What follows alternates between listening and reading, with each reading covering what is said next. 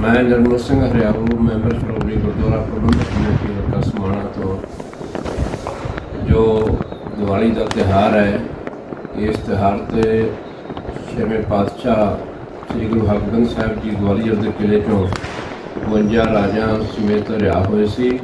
ਔਰ ਦੂਸਰੇ ਪਾਸੇ ਸ੍ਰੀ ਰਾਮਚੰਦਰ ਜੀ ਅਯੁੱਧਿਆ ਦੇ ਵਿੱਚ 14 ਸਾਲ ਦਾ ਬਨਵਾਸ ਕੱਟ ਕੇ ਵਾਪਸ ਆਏ ਸੀ।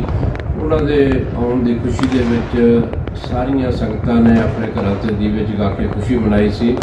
ਸੋ ਇਹ ਸਾਲ ਬਾਅਦ ਤਿਉਹਾਰ ਆਉਂਦਾ ਹੈ। ਮੈਂ ਪ੍ਰਮਾਤਮਾ ਅੱਗੇ ਅਰਦਾਸ ਬੇਨਤੀ ਕਰਦਾ ਕਿ ਇਸ ਸ਼ੁਭ ਦਿਹਾੜੇ ਤੇ ਸਾਰੇ ਪਰਿਵਾਰਾਂ ਦੇ ਵਿੱਚ ਜਿਹੜੀ ਹੈ ਸੁਖ ਸ਼ਾਂਤੀ ਹੋਵੇ, ਪਰਿਵਾਰ ਤਰੱਕੀ ਕਰਨ। ਸੋ ਮੈਂ ਇੱਕ ਵਾਰ ਫਿਰ ਸਾਰੀ ਸੰਗਤ ਨੂੰ ਦੀਵਾਲੀ ਦੇ ਇਸ ਤਿਉਹਾਰ ਦੀਆਂ ਸ਼ੁਭ ਮੁਬਾਰਕਾਂ ਦਿੰਦਾ